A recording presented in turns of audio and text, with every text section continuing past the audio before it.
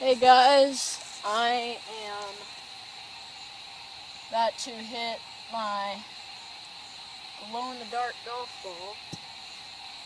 Uh, and you'll be able to see it. So, it goes nothing.